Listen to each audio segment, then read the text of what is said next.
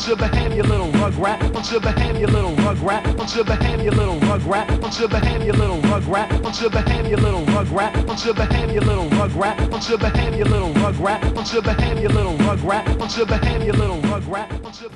Um, but there is a problem with this process. I'm a father of three, and I care about this city.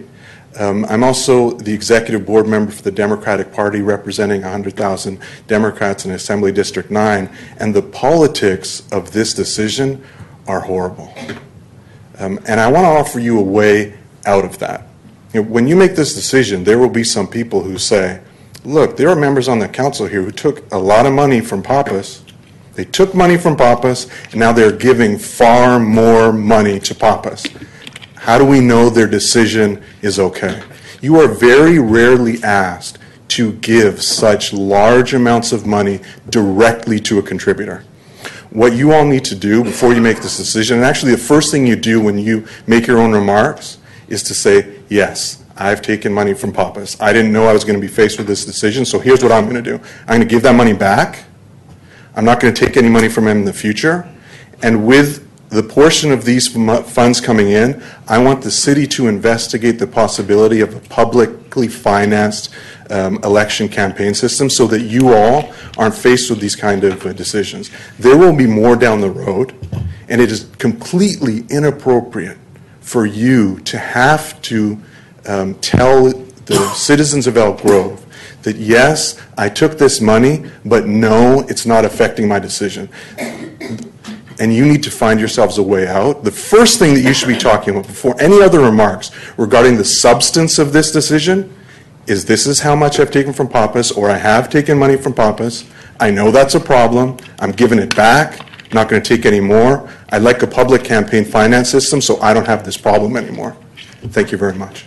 Okay, I just want to add my two cents as well. Sorry. Um, You know, uh, I'm Mr. Gill, uh, for the record, if you're interested in my contribution, uh, it is, ha- it has been disclosed, so you feel free to take a look at those.